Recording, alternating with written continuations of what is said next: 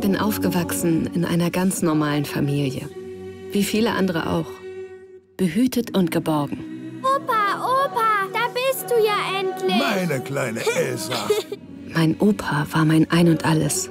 Ich habe ihn und seine Geschichten aus dem Dritten Reich geliebt. Wie lautet die Parole, gefreiter Elsa?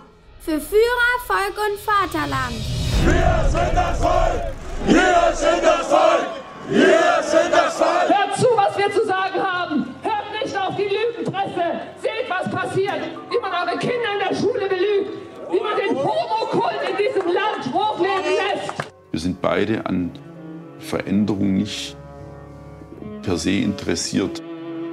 Viele Kinder zu haben, die rasseschreien sind, ist ganz wichtig. Und in dem Geist werden natürlich auch dann die Kinder geprägt. Ich bin eigentlich damit aufgewachsen, einfach mit, mit einer gewissen Angst auch gegenüber vor allem Türken damals. Das Christentum ist auch eine Wüstenreligion, die hier nach Deutschland äh, mit Zwang eingeführt worden ist. Wer weiß nicht, ob es dann nicht auch eine Zwangsislamisierung hier irgendwann gibt. In Österreich haben wir die konservativste Regierung seit eh und je. Das ist großartig und ein Fenster in die Zukunft für Deutschland. Als Kind mussten wir immer stark sein. Wir durften nicht weinen und uns an nichts zu sehr binden. Jeder von uns hat das auf seine Art und Weise erlebt. Alles beginnt mit unserer Erziehung.